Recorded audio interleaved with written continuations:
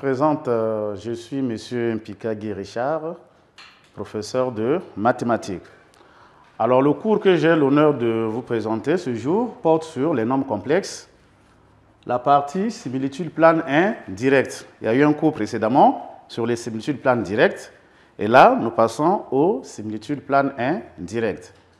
Alors, dans le plan de notre cours, nous allons d'abord revenir sur la définition d'une similitude plane indirecte. Ensuite, nous allons présenter l'expression complexe d'une similitude plane indirecte et nous passerons aux similitudes planes indirectes particulières. Alors, de façon générale, une similitude plane indirecte, c'est la composée d'une homothétie et d'un anti-déplacement, c'est-à-dire une symétrie orthogonale axiale ou une symétrie glissée. Alors, les éléments caractéristiques d'une similitude plane indirecte, nous avons donc le centre, nous avons le rapport et nous avons l'axe.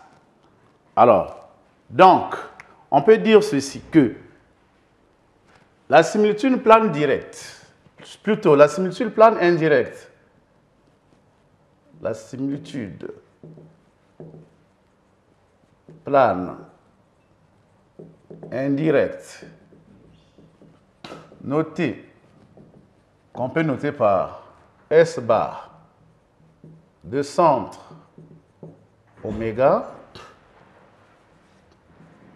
de rapport K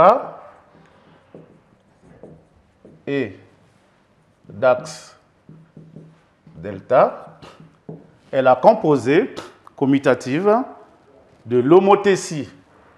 Donc S bar, c'est la composée commutative de l'homothétie, le centre oméga, le rapport K, et de la symétrie orthogonale axiale d'axe delta, tout en sachant que la droite delta, dans ce cas-là, doit passer par le point oméga. Comme c'est une composée qui est commutative, donc elle est aussi égale à S delta rond homothétie de centre oméga et de rapport K. Donc cette composée est commutative lorsque l'axe delta, lorsque la droite delta passe par le point oméga. Voilà ce que l'on peut dire à propos de la définition d'une similitude plane indirecte. Alors, l'expression complexe d'une similitude plane indirecte. Alors, de façon générale, son expression complexe est de la forme z' égale à az bar plus b. Donc, nous pouvons réécrire cela ici, que l'écriture complexe d'une similitude plane indirecte est de la forme z' égale à az bar plus b, ab, c étoile, croix c. Voilà, donc A est un nombre complexe non nul et B un nombre complexe quelconque. Alors, pour donner la nature de l'application définie par Z' égale à AZ bar plus B, parce que nous pouvons avoir, comme nous l'avons dit, il y a la similitude plane indirecte de façon générale, mais il y a aussi des similitudes planes directes particulières. Alors donc, le tableau ci-dessus nous montre à quel moment nous pouvons avoir une similitude plane indirecte proprement dite et à quel moment on peut avoir une similitude plane indirecte particulière. Alors, pour cela, qu'est-ce qu'il faut faire? Lorsque nous avons une application définie par z' égale à az bar plus b, pour déterminer sa nature et ses éléments caractéristiques, nous procédons d'abord par la détermination du module de A. Donc la nature et les éléments caractéristiques de l'application dépendent d'abord, premièrement, du module de A et deuxièmement de la quantité A, B bar plus B. Alors, donc nous distinguons en général deux cas. Lorsque le module de A égale 1, alors l'application ainsi définie par l'écriture complexe Z' égale à AZ bar plus B est un anti-déplacement. Un anti-déplacement, c'est-à-dire c'est une isométrie qui transforme des angles en leur opposé. Et parmi ces isométries-là, nous avons soit une symétrie orthogonale axiale, soit une symétrie glissée. Donc, qu'est-ce qui va nous permettre de donner la nature à ce moment-là, dans le cas où le module de A est égal à 1 Donc, nous disons que lorsque le module de A est égal à 1, f est un anti-déplacement, c'est-à-dire une symétrie orthogonale axiale ou une symétrie glissée. À ce moment-là, on fait quoi? Ben, On calcule la quantité AB bar plus B. Si la quantité AB bar plus B nous donne 0, l'application admet plusieurs points invariants. Et à ce moment-là, F est une symétrie orthogonale axiale d'axe D tel que D c'est l'ensemble des points M d'affixe Z tel que Z égale A Z bar plus B. Alors, si la quantité AB bar plus B est différente de 0, F n'admet aucun point invariant. Donc F n'admet pas de point invariant. À ce moment-là, notre application F est une symétrie glissée. Alors, notons qu'une symétrie glissée est caractérisée par son vecteur et son, son axe. Alors, le vecteur euh, que nous pouvons désigner par W est donné par W d'affixe Z de W est égal à 1 demi de AB bar plus B. Et l'axe de notre symétrie glissée est donné par D. C'est donc l'ensemble des points M d'affixe Z tel que Z' moins Z égale 1 demi de AB bar plus, plus B. Voilà. Donc ça c'est lorsque le module de A nous donne 1. Alors lorsque le module de A est différent de 1, à ce moment-là, f admet un unique point invariant oméga d'affixe z oméga égale AB bar plus B sur 1 moins le module de A au carré. Bon, il y a une démonstration dans le cours, il y a une démonstration pour ça, pour arriver à ce résultat-là. À ce moment-là, lorsque le module de A est différent de 1, f est une similitude plane directe, proprement dite. Donc, ce n'est pas une similitude plane directe, et plutôt, ce n'est pas une similitude plane indirecte particulière, mais c'est une similitude plane indirecte proprement dite, dont le centre oméga admet pour affixe z oméga égale à AB bar plus B sur 1 moins le module de A au carré. De rapport K égale à au module de A. Et l'axe de cette similitude plane indirecte est défini par, comme ceci, delta. C'est donc l'ensemble des points M du plan d'affixe Z tel que Z' moins Z oméga égale à K facteur de Z moins Z oméga. Donc nous retenons que, en, gros, nous avons deux cas lorsque le module de A est égal à 1 et lorsque le module de A est différent de 1. Lorsque le module de A est égal à 1, nous avons deux cas. On calcule AB bar plus B. Si AB bar plus B donne 0, c'est une symétrie orthogonale axiale. Et si AB bar plus B est différent de 1, nous avons une symétrie glissée. Alors, et le deuxième cas, lorsque le module de A est différent de 1, ça nous donne proprement une similitude plane indirecte avec ces éléments caractéristiques. Donc, le centre, le rapport et l'axe. Voilà un peu présenté de façon succincte l'étude de cette transformation-là définie par Z' égale à AZ bar plus B. À présent, nous allons passer à la pratique. Donc, nous allons tourner notre tableau. Et en tournant notre tableau, nous avons donc cet exercice-là. Exercice, on nous demande de déterminer la nature et les éléments caractéristiques de l'application f dans les cas suivants. Le cas où z' égale à 1 demi plus i racine de 3 sur 2 z bar plus 1 moins i racine de 3. Et le cas où z' égale à iz bar plus 1 plus i.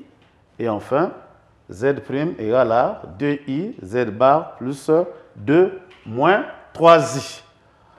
Bon, donc nous allons commencer par la première application. Donc corriger.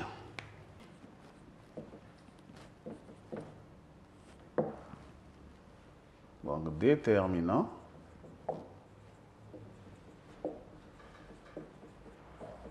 La nature et les éléments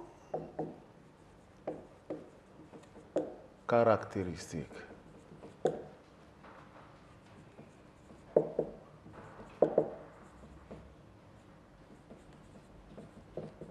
de f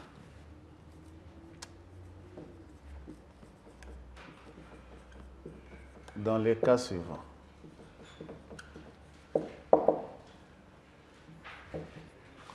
Premier cas, z' égale à 1 demi plus i racine de 3 sur 2 plus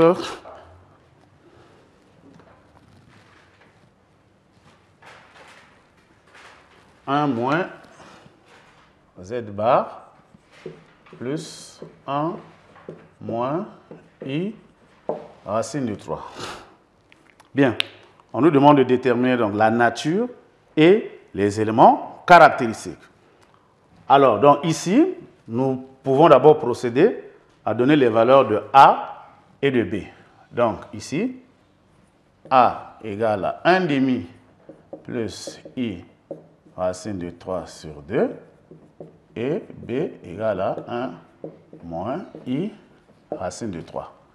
Comme nous l'avons dit dans le cours, que la nature de l'application F dépend du module de A et de la quantité AB bar plus B. Donc, nous commençons ici d'abord par déterminer le module de A. Module de A égale, on connaît la formule, 1 demi au carré plus racine de 3 sur 2 au carré. Bon, le module de A nous donne 1. Module de A égale à 1. Donc F est un anti-déplacement. Est un anti-déplacement. C'est-à-dire une symétrie orthogonale axiale ou une symétrie glissée. Pour cela, nous allons calculer la quantité AB bar plus B. Alors donc, calculons A, B bar plus B. A, B bar plus B égale, nous avons la valeur de A, c'est 1 demi plus I racine de 3 sur 2. B bar, donc le conjugué de B. B c'est 1 moins I racine de 3. Nous savons que lorsque nous prenons le conjugué d'un nombre complexe, seule la partie imaginaire change de signe. Donc B bar, ça va donner 1 plus I racine carrée de 3 plus B. B c'est 1 moins I racine carrée de, de 3. Nous allons tout simplement développer. Alors, ça va nous donner 1 demi, 1 demi plus i racine de 3 sur 2 plus i racine de 3 sur 2 moins 3 sur 2 plus 1 moins i racine carrée de 3.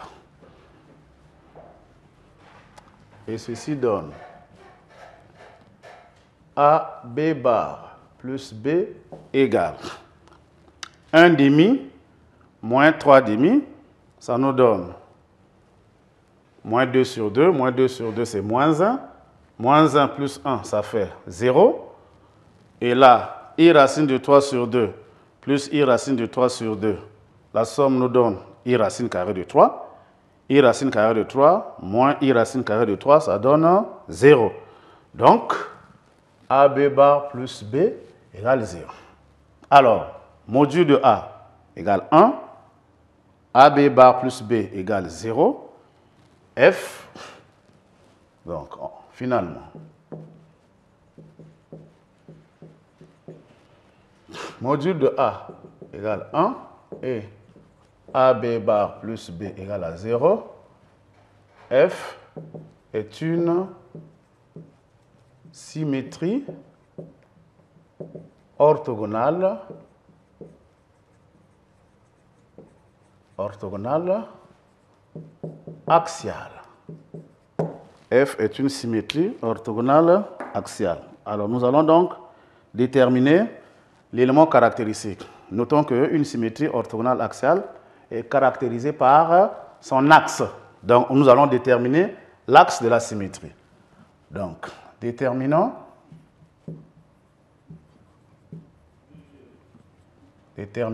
l'axe D. Alors, dans le tableau, tout à l'heure, nous avons vu que l'axe D,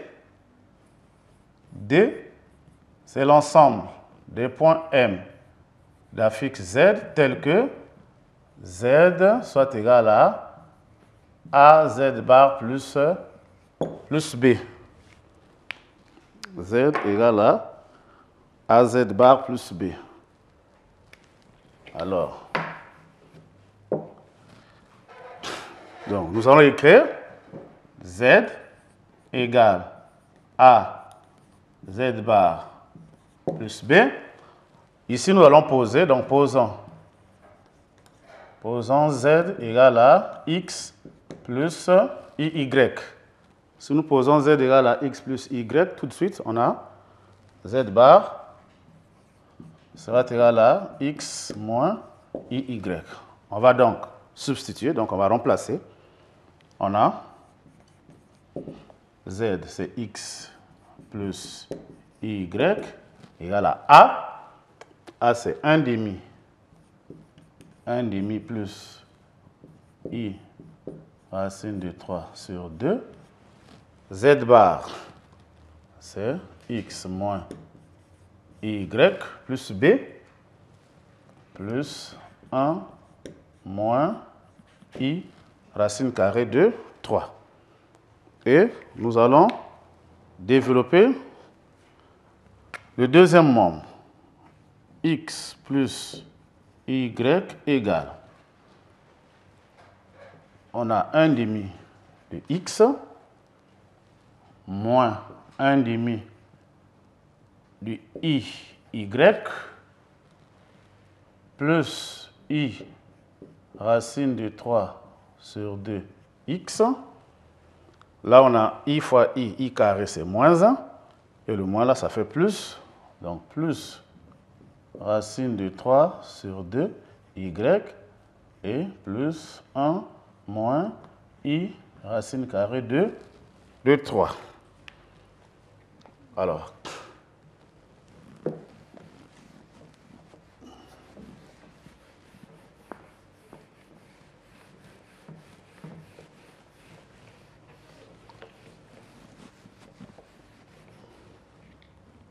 Bien.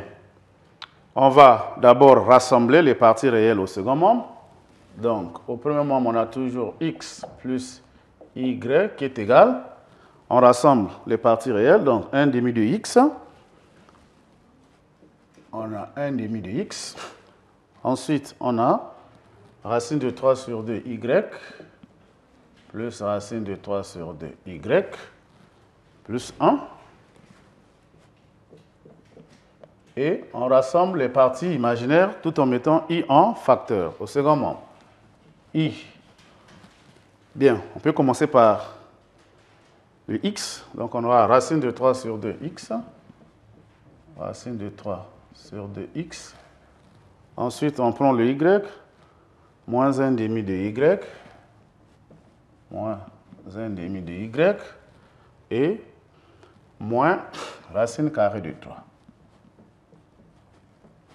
Voilà. Égalité de deux nombres complexes. Donc, les parties réelles sont égales entre elles, les parties imaginaires aussi. Donc, ceci nous conduit au système suivant. x égale 1 demi de x plus racine de 3 sur 2y plus 1 et y égale racine de 3 sur 2x moins 1 demi de y moins racine carrée de 3. On continue. On aura donc x moins, on peut rassembler, 1 demi de x moins racine de 3 sur 2, y moins 1 égale à 0. Bon, ici on peut faire le sens inverse. Donc, racine de 3 sur 2x, on a moins 1 demi de y, moins y, moins racine de 3 égale à 0. Et nous obtenons x moins 1 demi de x, ça donne donc 1 demi de x, 1 demi de x, moins racine de 3 sur 2y, moins 1 égale à 0. De l'autre côté, on a racine de 3 sur dx moins 3 demi de y moins racine carrée de 3 égale à 0. Bien, on peut réduire le tout au même dénominateur, qui est 2. Ça nous fait donc x moins racine de 3 de y moins 2 égale 0. De l'autre côté, nous aurons racine de 3x moins 3y moins 2 racine de 3 égale 0. Alors, nous continuons. Alors, l'objectif, c'est avoir la même équation. C'est que les deux équations doivent être semblables. Alors, lorsque nous arrivons à ce stade-là, on peut mettre racine carrée de 3 en facteur au niveau de la deuxième équation, ou on peut multiplier la première équation par racine carrée de 3. Donc, en mettant racine carrée de 3 en facteur, qu'est-ce que ça va nous donner? Donc, la première équation, elle reste comme telle x moins racine de 3y moins 2 égale 0. Et là, racine carrée de 3, on a x moins. Bon, notons que 3, c'est racine de 3 fois racine de 3. Donc, en mettant racine carrée de 3 en facteur, il va rester racine carrée de 3. Racine carrée de 3y. Et là, en mettant racine de 3 en facteur, il nous reste moins 2 égale à 0. Bon, racine de 3 étant différent de 0, on a x moins racine de 3, y moins 2 égale à 0. Et là aussi, on a x moins racine de 3y moins 2 égale à 0. Finalement, donc, notre application, ou bien notre symétrie orthogonale axiale admet pour axe la droite d'équation. Donc, on va écrire que la droite D à droite D a pour équation x moins racine carrée de 3, y moins 2 égale à 0. Voilà l'équation cartésienne de notre axe de symétrie. Ça, c'est pour le premier cas. Alors, deuxième cas. Deuxième cas, nous avons Z' égale à IZ bar. Z' égale à IZ bar plus 1 plus I. On va bien se rassurer. Voilà, IZ bar plus 1 plus I.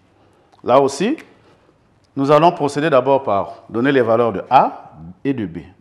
Ici, A égale à I, B égale à 1 plus I. Et comme nous avons dit que pour donner la nature et les éléments caractéristiques, donc la nature d'abord, il faut que nous calculions le module de A et ensuite la quantité AB bar plus B. Alors nous allons donc calculer le module de A. Le module de A,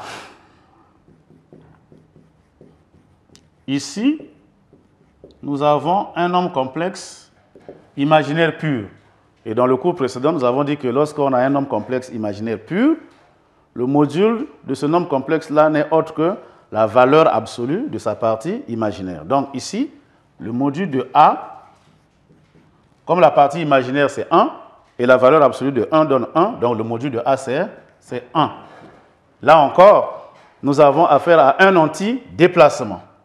Donc F est un antidéplacement.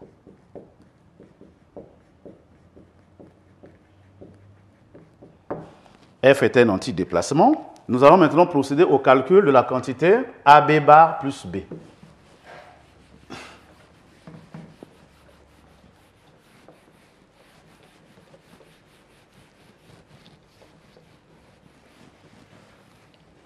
On calcule la quantité AB bar plus B. Donc, calcul de AB bar plus B. AB bar plus B, on va remplacer A c'est I. I. Le conjugué de B, le conjugué de 1 plus I, c'est 1 moins I. 1 moins I plus B. B c'est 1 plus I. On développe, ça fait I euh, plus 1 plus 1 plus I. Donc AB bar plus B nous donne 2 plus 2I. AB bar plus B différent de 0. Alors dans ce cas, nous savons que F est une symétrie glissée. Donc, F est une symétrie glissée. Symétrie glissée, nous allons déterminer ces éléments caractéristiques, c'est-à-dire le vecteur et puis l'axe, conformément au tableau qui était là. Donc, déterminons ces éléments caractéristiques. Alors, le vecteur. Nous pouvons le nommer W. C'est le vecteur W. C'est le vecteur W d'affixe ZW égale à 1 demi de AB bar plus, plus B. Nous avons déjà calculé AB bar plus B, ça fait 2 plus 2i. Donc Z W sera donc égal à 1 demi facteur de 2 plus 2i. Z W égale à 1 plus i. Donc, le vecteur de notre symétrie glissée a pour coordonnées 1 et, et 1. Voilà. Nous avons le vecteur. Nous allons procéder maintenant à la détermination de l'axe. Là aussi, nous allons regarder dans notre tableau et voir comment déterminer l'axe. Alors, le cours dit ceci. Donc, l'axe, c'est la droite. C'est la droite D telle que. Donc, D, c'est quoi? C'est l'ensemble des points M du plan d'affixe Z tel que Z' moins Z soit égal à 1 demi de A, B plus B. Voilà. Alors, nous allons remplacer. Donc, Z' moins Z égale à 1 demi de AB bar plus B. Z', nous allons le prendre au niveau de l'écriture complexe. Donc, on va calculer, on va exploiter cette relation-là.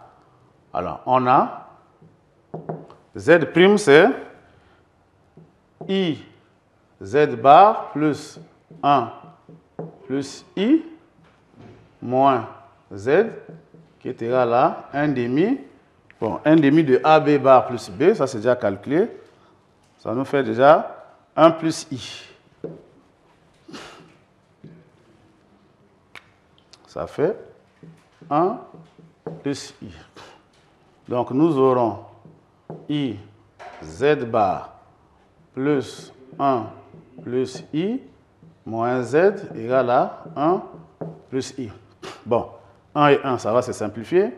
I et I aussi vont se simplifier. Donc nous restons avec I Z bar moins Z égale à 0. Puisqu'il faut trouver l'équation de l'axe. On passe à, l'analytique. Donc posons Z égale à X plus Y. Alors, Z bar sera égal à X moins Y. Et nous remplaçons. On a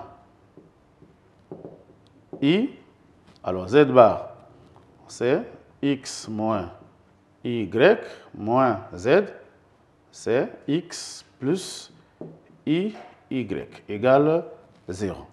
On peut supprimer les parenthèses.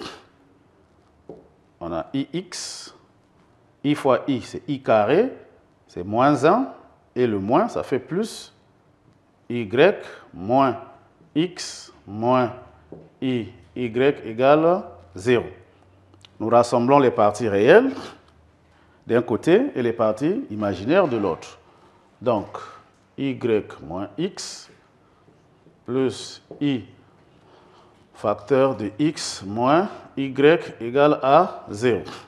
Alors, un nombre complexe est nul, c'est seulement si sa partie réelle et sa partie imaginaire sont nulles. Donc, ici, ça nous donne le système suivant. y moins x égale 0. Et là, x moins y égale à 0. On trouve quasiment la même équation, c'est-à-dire, là aussi, en multipliant par moins 1, x moins y égale à 0, x moins y égale à 0. Donc, l'axe de notre symétrie glissée est la droite d'équation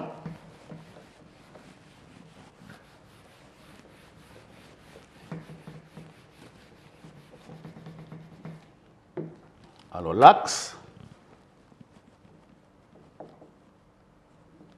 de F est la droite d'équation x moins y égale à 0. Notons qu'en passant, le vecteur de notre symétrique glissée était de coordonnées 1 et 1. Et là, nous avons notre droite d'équation x moins y égale à 0. Alors, lorsqu'on donne les éléments caractéristiques dans une symétrie glissée, nous devons savoir que le vecteur que nous donnons pour la symétrie glissée doit être un vecteur directeur de la droite que nous trouvons. Et nous voyons bien que le vecteur W de coordonnées 1, 1 est bien un vecteur directeur de cette droite. Puisque, on rappelle, si on a une droite D d'équation AX plus BY plus C égale à 0, alors un vecteur directeur de cette droite-là peut être considéré comme le vecteur U de coordonnées moins B, A, ou U de coordonnées B et moins A. Et si nous appliquons cette formule, ici donc, la valeur de A c'est 1, la valeur de B c'est moins 1, et donc nous aurons effectivement U ici de coordonnées 1 et 1. Donc le vecteur W trouvé est bien un vecteur directeur de notre droite. Ça c'était juste la vérification. Voilà les éléments caractéristiques de notre symétrie glissée. Alors, nous allons passer à l'application 3. Donc, troisième cas, c'est Z'. Nous allons regarder de l'autre côté du tableau. Z' égale à 2IZ bar. 2IZ bar plus 2 moins 3i. 2iz bar plus 2 moins 3i. C'est bien cela. Alors donc, ici, nous allons procéder comme avant. On donne les valeurs de A et de B. Donc ici, A est égal à 2i et B égal à 2 moins 3i. La première étape, c'est le calcul du module de A. Module de A. Module de A. Alors, A, c'est un nombre complexe imaginaire pur. Donc, son module, c'est la valeur absolue de la partie imaginaire. Donc, le module de A est égal à la valeur absolue de 2, ça fait 2. Donc, module de A différent de 1, f admet un unique point invariant donc F est une similitude plane indirecte. Voilà, ce n'est pas une similitude plane indirecte particulière, c'est carrément une similitude plane indirecte avec donc euh, éléments caractéristiques comme centre, rapport et axe. Donc nous allons procéder à la détermination de ces éléments caractéristiques. Alors, nous commençons par le centre. Donc, déterminons les éléments caractéristiques de F. Déterminons les éléments caractéristiques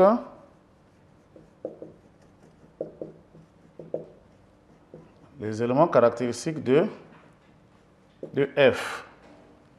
Alors, le cours nous dit que le centre, le centre, si nous le désignons par oméga, donc c'est le point, c'est le point oméga d'affixe Z oméga égale à AB bar plus B sur 1 moins le module de A au carré. Nous allons déterminer la fixe du centre.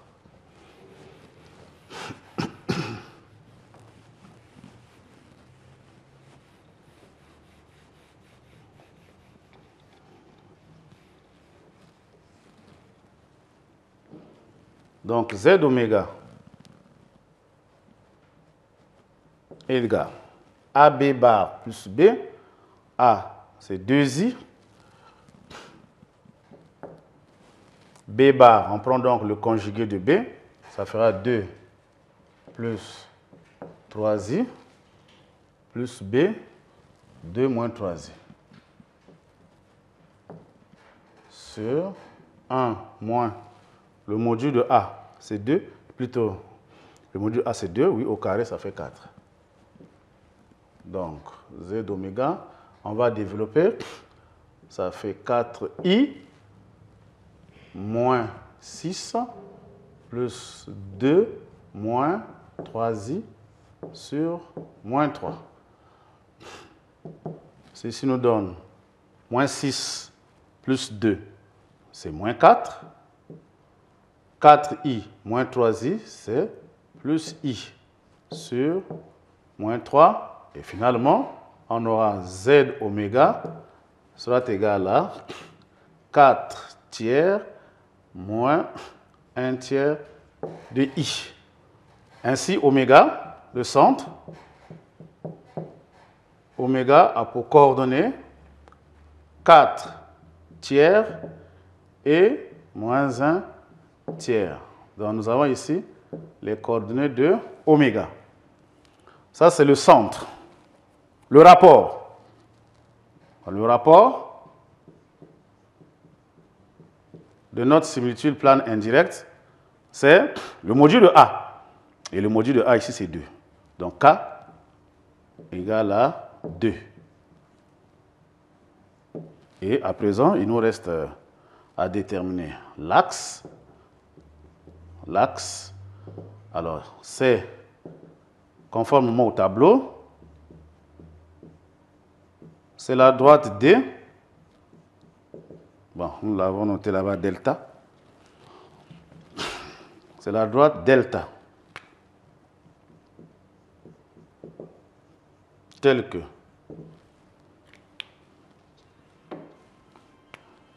Donc delta, c'est donc quoi?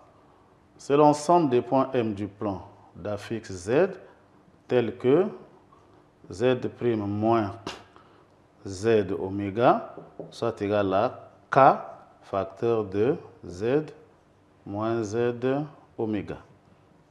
Voilà, nous allons déterminer l'axe de la similitude plane indirecte par cette formule-là.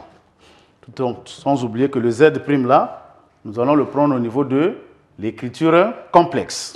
Donc, on a Z bar plus 2 moins 3i moins z oméga. Moins z oméga, z oméga est là. Donc ça fera moins 4 tiers moins 1 tiers de i. De l'autre côté, au second moment, on a k, k c'est 2. On a z moins z oméga. Bon, je vais d'abord mettre les crochets.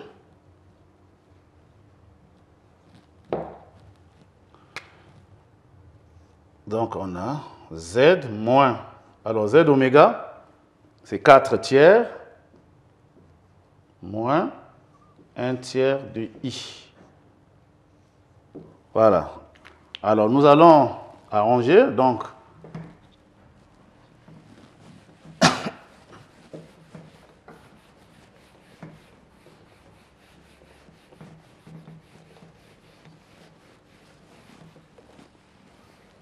Finalement, on aura 2i z bar plus 2 moins 4 tiers plus 2 moins 4 tiers. 3 fois 2, ça fait 6. 6 moins 4, ça fait 2. Donc nous aurons 2 tiers. Plus 2 tiers moins 3i plus 1 tiers de i. Moins 3i plus 1 tiers de i égale au second membre. On peut développer. Ça fera 2z moins 8 tiers, moins 8 sur 3, moins fois moins plus, plus 2 tiers de i. Plus 2 tiers de i. C'est bien cela. 2 fois z, ça fait 2z. Moins 4 tiers fois 2, ça fait moins 8 sur 3. Plus 1 tiers de i fois 2, ça fait 2 tiers de i. OK. Alors, donc, on a 2i z bar plus 2 tiers.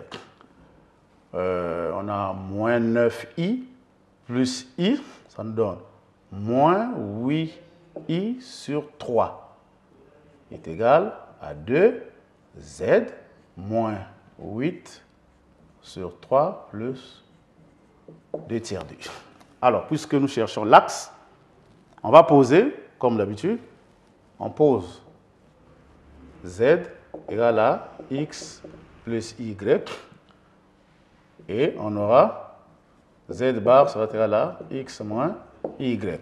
Nous allons substituer dans cette relation-là. Donc, on a 2i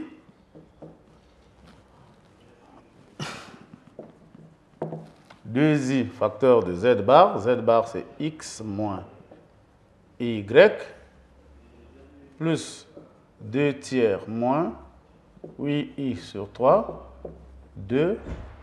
On développe x plus y moins 8 sur 3 plus 2 tiers de i. On développe 2i x. i fois i, carré, c'est moins 1. Et le moins, ça fait plus. Plus 2 y plus 2 tiers moins 8 tiers de i égale à 2x plus 2i y moins 8 sur 3 plus 2 sur 3i. Bien, déjà, on peut égaler puisque on connaît déjà les parties réelles et les parties imaginaires. Sinon, on peut d'abord arranger.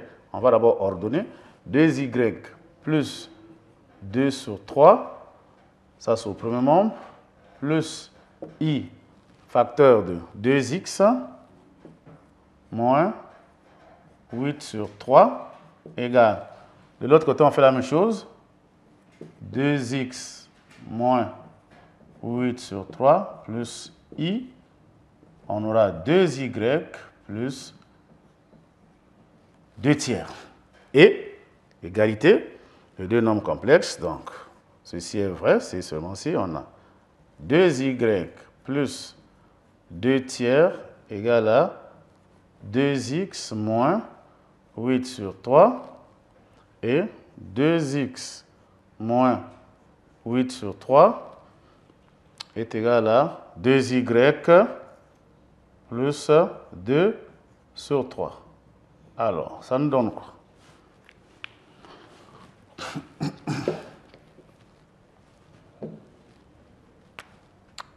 On a, on ramène tout, donc on aura 2x. Bon, moins 2y, moins 8 tiers, moins 2 tiers, égale 0. Ici, on a 2x moins 2y moins 8 sur 3 moins 2 tiers égale à 0.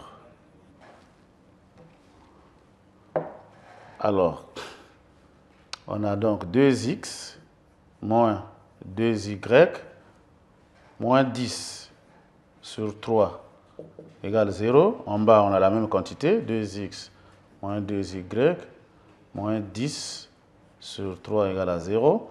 En simplifiant par 2, on aura x moins y moins 5 tiers égale 0.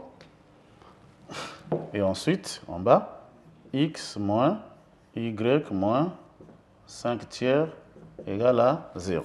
Alors, les deux équations sont identiques. On peut donc conclure que l'axe de la similitude plane indirecte, donc de notre similitude plane indirecte ici,